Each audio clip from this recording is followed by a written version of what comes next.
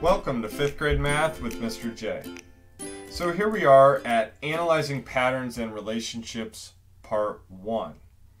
So what we're going to do in this video, this is an instructional video, and we're going to follow this up with Part 2 and then a mastery check, which I will explain later. But here in Part 1, we're going to be writing out patterns and then analyzing how those two patterns relate. That might not make any sense as I say it, but as we go through these four examples on your screen, I bet you have it down by the end of this video. So, like the rest of my instructional videos, I highly suggest writing these out with me as I go through. I think that will be beneficial to you learning this. But if you just want to watch and listen, that's okay too. So we're going to hop into number one here and see what's going on with these patterns. So we have pattern A and pattern B. We're going to do one at a time and we need to be nice and neat when we line these up. That is key. So let's start with pattern A and I'm going to write an A so I have my pattern labeled here. And all I need to do is follow directions. It says start at 0 and add 5. So guess what you start with? 0. Imagine that. And add 5 each time. 0, 5, 10, 15, 20. That pattern goes on forever, but no need to continue on. We'll end it at five terms. Okay, terms is a very important vocab word. Terms are just the numbers you write out in your pattern. So 0 is the first term, 5 is the second, 10 is the third, 15 is fourth, and I bet you you got the hang of it. So let's do B here. So pattern B, we start at 2, not 0. Don't start every pattern with, pattern with 0. You have to pay attention to what you're doing and follow the direction. So it says start at 2. Add 5 each time. So 2, 7, 12, 17, and 22. Those are our terms for pattern B. Now notice the patterns A and B are lined up the first terms are lined up right above and below each other. The second terms are lined up. Third, fourth, and fifth. So now that we have our patterns written out, we need to see the relationship between A and B. How do we get A to equal B? And it needs to work for all of them, like a rule. So we have a zero, zero and a 2. Think add, subtract, multiply, or divide. Those are your four options. So how do we get 0 to equal 2? You're probably thinking to yourself, well, add 2 to 0. Okay, so let's try it. 0 plus 2 is 2. It works for the first term. It needs to work for all of them. Never just check one. At least check the five you have, and if you're you write even longer patterns, check all of them. Make sure it works for all. 5 plus 2 is 7, works. 10 plus 2 is 12. 15 plus 2 is 17. 20 plus 2 is 22. It worked for all five of those, so pretty safe to say here that the rule or relationship is adding 2 to pattern A will give us the corresponding terms in pattern B. Now this is a new vocab concept here, corresponding terms. And that means the first terms in the patterns, A and B, these guys are like partners, they're corresponding terms. The 5 and 7, the 10 and 12, and so on. So those are corresponding terms. So you'll see a lot of different types of answers to these. You can write it out as a math problem like A plus 2 will give you pattern B, something like this. Or maybe you'll have to do it in sentence form and it will go something like pattern A plus 2 will equal the corresponding terms in pattern B. Or you can even do the opposite. How do you get pattern B or go from the bottom to get A? How do you get 2 to equal 0?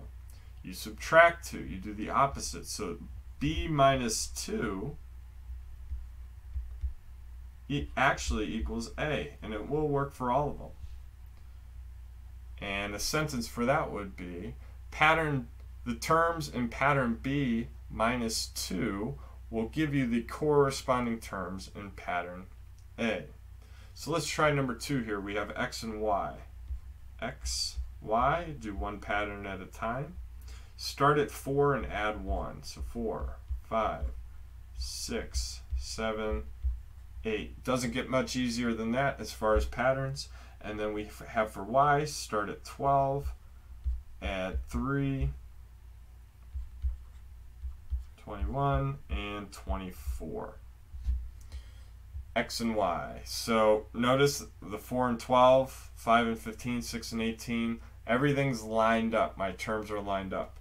So how do I get 4 to equal 12? You might be thinking, well, 4 plus 8 is 12.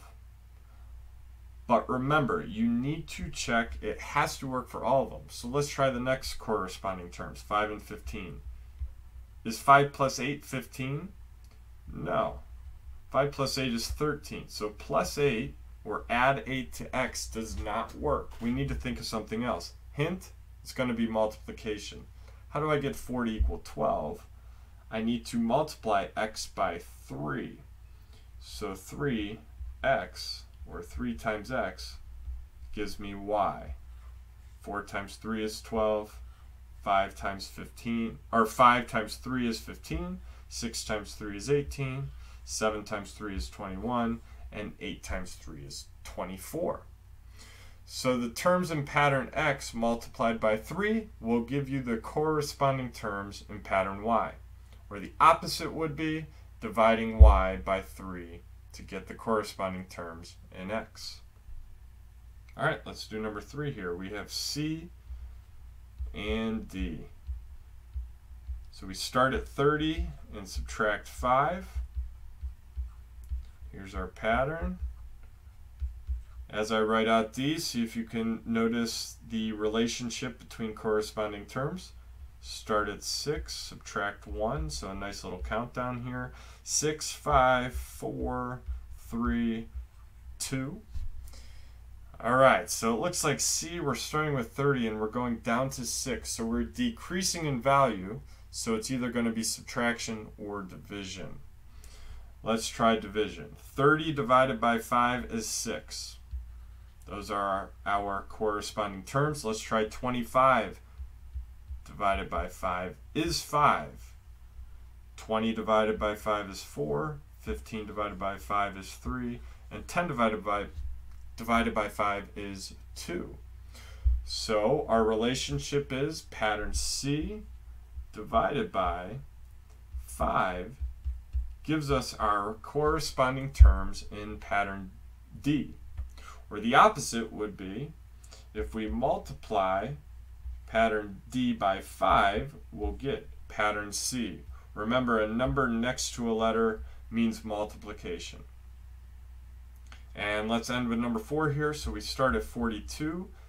Oh, I didn't label my pattern. This is M. And we subtract 6. So 42, 36, 30, 24, and 18. And then let's do pattern N and we start at 38 and subtract 6. Alright.